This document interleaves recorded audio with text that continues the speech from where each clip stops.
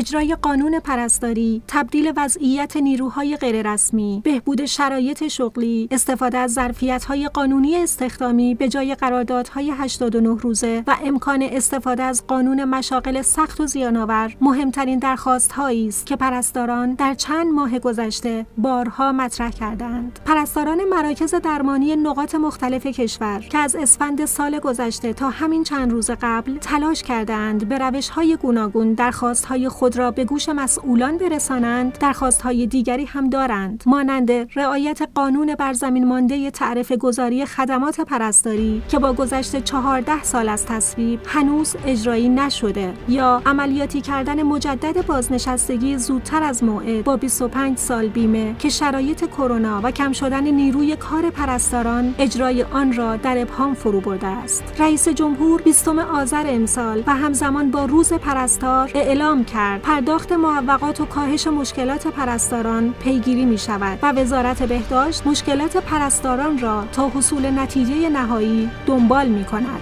اما پرستاران هنوز به نتیجه نرسیدند و همین باعث شد نهم بهمن تجمع سراسری در شهرهایی مانند تهران، ایلام، یاسوج، پلدختر، شیراز، مشهد و اسدآباد برگزار کنند. امضای قراردادهای 89 روزه با پرستاران پیشتر هم با هشدارهایی مواجه شده بود. قائم مقام سازمان نظام پرستاری گفته بود به محض اوج گرفتن کرونا مراکز بهداشتی اطلاعیه جذب پرستار 89 روزه می‌دهند و با فروکش کردن موج همهگیری نیروها بیکار می‌شوند. دبیر کل خانه پرستار هم این نوع قرارداد را استثمار پرستاران توصیف کرده است. همزمان با تجمع اخیر پرستاران چند نفر از مسئولان استانی گفته بودند تأمین معوقه کادر درمان و موضوع کمبود دارو و تجهیزات بیمارستانی فردای آن روز در هیئت دولت مطرح می شود قولی که تاکنون هیچ خبری از اجرایی شدنش منتشر نشده است. حالا عباس عبادی معاون پرستاری وزیر بهداشت گفته با تعامل فشرده‌ای که معاونت توسعه وزارت بهداشت با مبادی زیربط مانند سازمان اداری استخدامی و کمیسیون‌های تخصصی مجلس دارد باید منتظر تصویب نهایی بودجه سال آینده باشیم تا ببینیم اعتبارات در نظر گرفته شده برای این امر چقدر است. در حال حاضر کارانه دریافتی پرستاران مربوط به تابستان امسال است. بنابراین وصولی تعرفه و کارانه مرتبط با نظام پرداخت پرداخت جدید احتمالا از اواخر بهار 1401 رخ می‌دهد. معاون پرستاری وزیر بهداشت همچنین گفته از ابتدای شیوع کرونا تا بهمن 99 مجوز جذب 55 هزار نفر را داشتیم که حدود 42 درصد از این گروه برای پرستاران بود و فرایند جذب آنها به پایان رسید ولی تعداد زیادی از همکاران قراردادی